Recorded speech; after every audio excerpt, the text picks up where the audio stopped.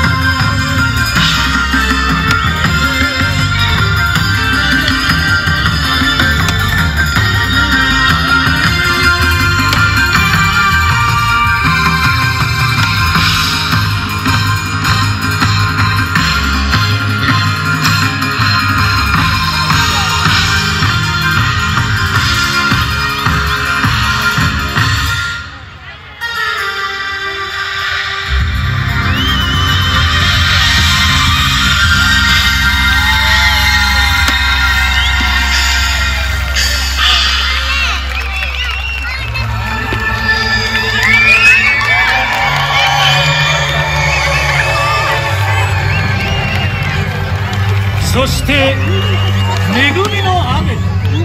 登場を生み出す友人を人々は長年崇拝してきました。その友人と獅子によります。龍子の舞を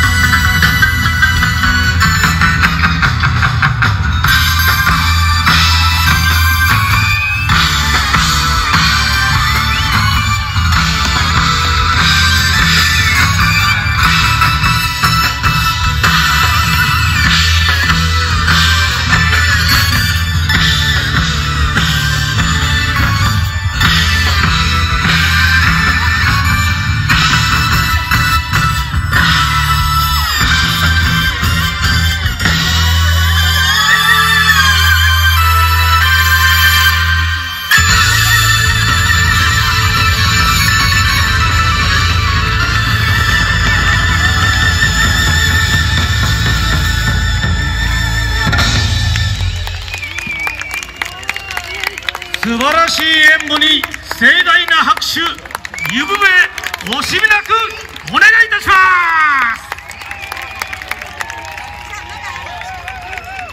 す龍子の舞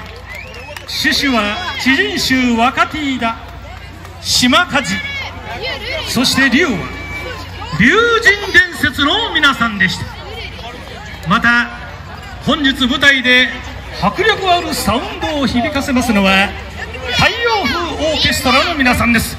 皆様今一度盛大な拍手をお願いいたします。